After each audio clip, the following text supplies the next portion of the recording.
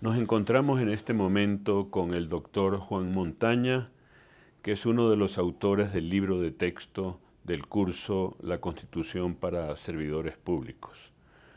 Juan tiene una larga trayectoria profesional, eh, docente y académica. Su título último es el de doctor PhD de la Universidad Autónoma de Madrid en Derecho Constitucional. Exactamente. Quisiera presentar a Juan, que lo tenemos acá con nosotros, y hacerle un par de preguntas. ¿Qué importancia tiene, Juan, para ti la nueva constitución del Ecuador del 2008?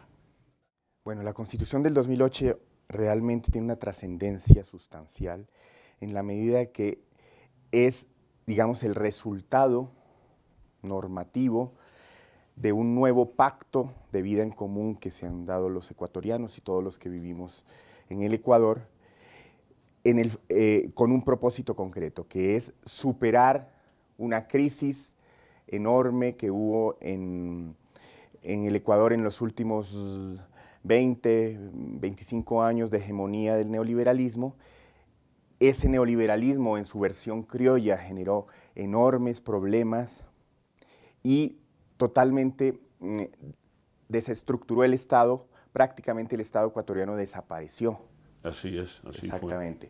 Y entonces esa nueva constitución es la oportunidad y el resultado, es un resultado de un proceso de, discusión política, social, cultural, en donde múltiples agendas se dieron cita en, en un lugar, en Montecristi, se discutió ampliamente, con gran nivel de participación, sobre los distintos problemas eh, que había en el, en el Ecuador y particularmente cómo reconstruir, cómo refundar el nuevo Estado ecuatoriano. Volver a crear la nación de cierta forma.